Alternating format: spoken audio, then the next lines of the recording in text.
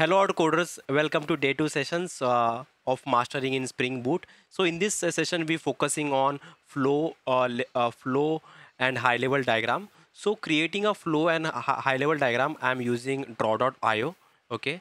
So draw.io is an open source uh, uh, software that you use, uh, you, you can use this for creating um, creating like flow diagram class level diagram then high level diagram or, or you need to design our whole your aws flow and all those stuff okay? So that is very useful stuff. So i already create this uh, diagram okay? Um, so if you need a separate session uh, for this uh, how how we can use uh, draw.io to create create any diagram please write down in a comment. So i will create a separate session on this.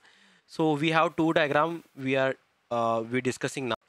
Let's discuss flow uh, flow diagram first okay? In flow diagram uh, first user eh, uh, register themselves uh, to our blogging portal.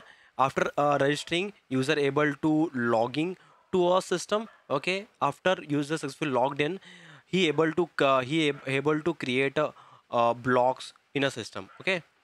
After creating block user publish that block and after publishing other uh, user directly view that blocks okay?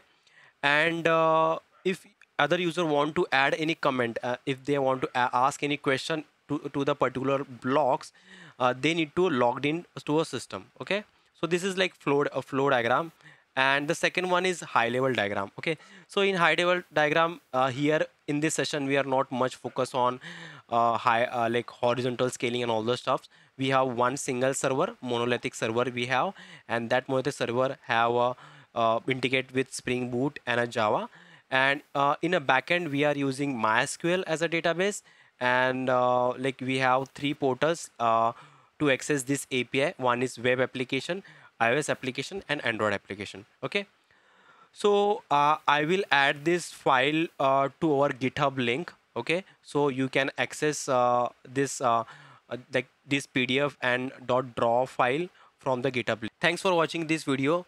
Uh, if you like our video please hit on like button and share with your friends and colleagues who have same stack stack. And please subscribe so when we upload a new video in in that particular series you get a notification let's wrap wrap up this day two session and meet on uh, day three session. Yeah thanks everyone